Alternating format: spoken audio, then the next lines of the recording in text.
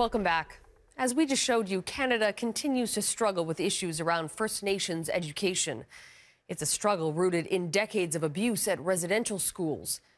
Nearly 40 years ago, a First Nations woman gave voice to that dark chapter in a simple poem called I Lost My Talk. Now, as Vassy Kapelos explains, it's being given new life in music and film.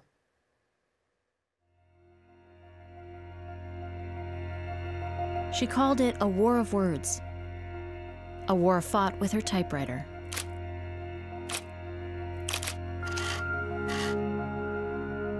Her name is Rita Joe.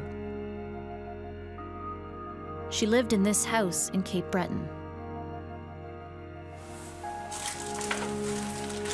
This is my mother's dress. They did call her a gentle warrior, and this was like her um, her her uniform when she went to battle. I remember when she died. I don't know. Somebody called her um, the poet laureate of Mi'kmaq people, and I said, "Yeah, that's that's an apt description." Yeah, yeah, because she was her writing was special. Rita wrote about memories both painful and deep, like her time at Shubenacadie Residential School in Halifax. She says, I became an adult um, when my parents died. And she had to make that adult decision to put herself in the school. Rita was 12 years old and would spend four years there. She used to say, um, she said, it was like a castle. And she said, when I got there, it was like the, my, the castle, it just turned to dust. She said, it wasn't, it wasn't like I thought it was going to be. Residential schools were the site of horrendous abuses that Canada has only recently started to recognize. The systemic discrimination of Indigenous people for a century. She said it was like a prison. She said we were, um, we were treated like, we were herded like cattle, and she said we couldn't speak our language. At 16, Rita had to relearn her native tongue. She wrote about it in her poem, I Lost My Talk. I lost my talk. The talk you took away when I was a little girl at Shubenacadie School. And she wanted to share her love for her culture, her love for nature, her love for people, um, her children. She wanted to show people like this is how native people are and we're like we're not savages because that's how she started writing. Two ways I talk, both ways I say. Your way is more powerful. Which one is from the Queen? One of those. One of these ones. One of these two, yeah. I think it's this one. Oh yeah, Queen Elizabeth's picture on there. Yeah, this is the Privy Council Award. She, uh, that's uh, that means like uh, she's an advisor To the for the Mi'kmaq people. Yeah, To, the, Queen. Yeah. She published seven books, met the Prime Minister, the Queen, and was awarded the Order of Canada, always as a proud Mi'kmaq woman. She wore this when um, she was awarded the Order of Canada. I love this dress. I'll never part with it. And someday, maybe it'll go in a museum.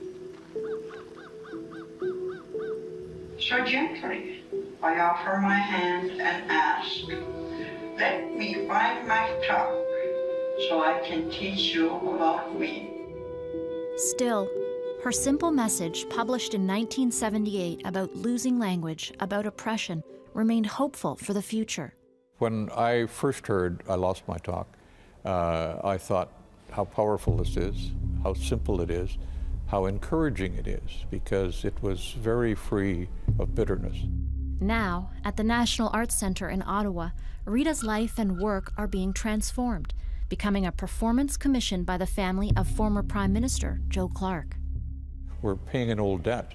It is that we are unleashing a, a sort of a trove, a treasure trove of Canadian capacity that we hadn't known before. I think like you. I create like you. It combines spoken word, film, and music, total artistic immersion. I create like you. This is primarily a piece about humanity. That's what this piece is. And she's a human being. And she walks, I, I, speak like you, I think like you, I create like you. Don't take away my imagination. Don't take away the possibilities.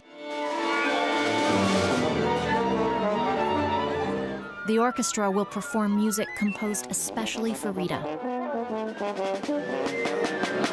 So how do you take a poem and, and then transfer it to an orchestra? Uh, well, there's, there, there's different characters. I imagine there's different characters in the piece, and, but the primary character is, is the, the little girl uh, who's, who's the narrator. And so I chose the flute to represent her.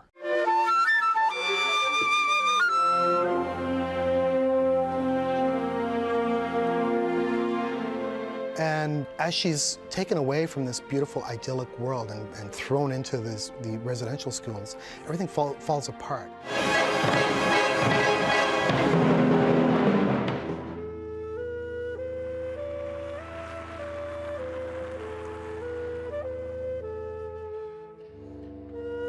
Yeah, I miss her very much.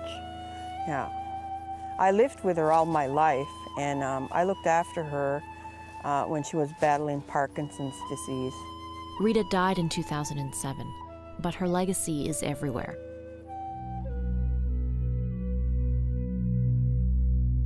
She used to tell us, um, after I'm gone, you guys can still read my words and you guys can remember remember me that way. So it's like she's she's gone, but she's not like gone gone. We still have her writing writing that is officially a part of history. A report released this year to address Canada's shameful past included I Lost My Talk. Her voice is getting out there. Uh, it's, it, it's gonna it's gonna touch a lot of people.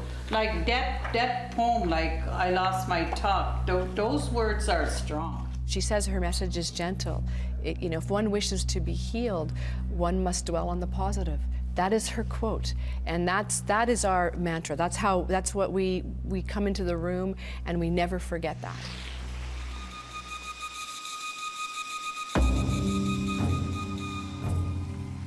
And tonight, what Canada once tried to take away is finally being celebrated.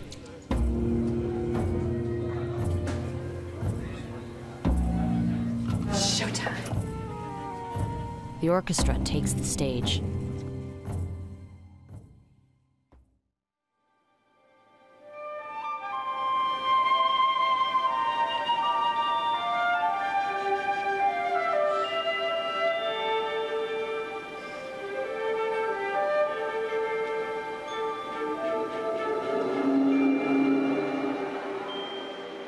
and as the flute plays, a little girl turns into a gentle warrior.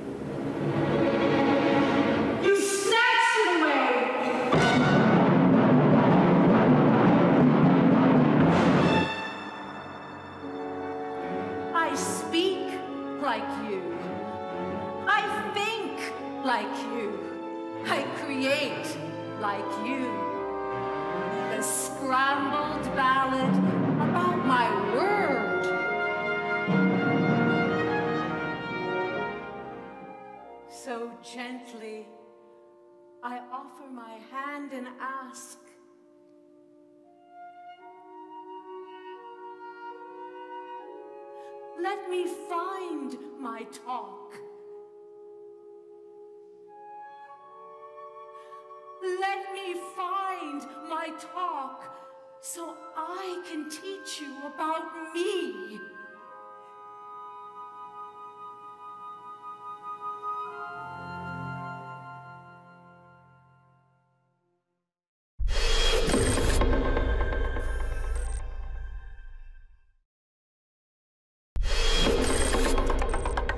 And that is our broadcast for tonight. A reminder you can always connect with us on Facebook and Twitter or at globalnews.ca slash 16 by 9. I'm Carolyn Jarvis. From all of us here at 16 by 9, thanks for watching.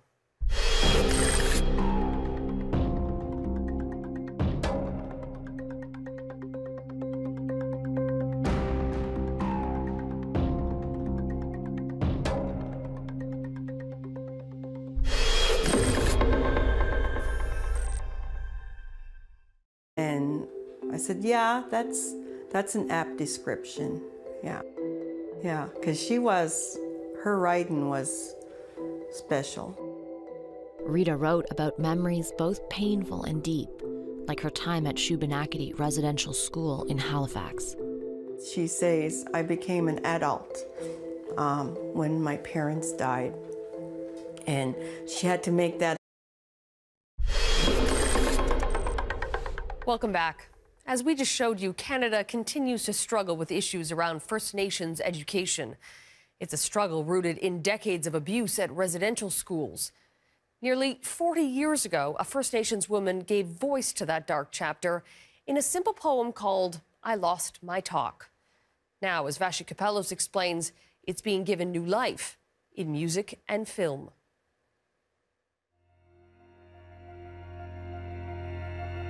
She called it a war of words, a war fought with her typewriter.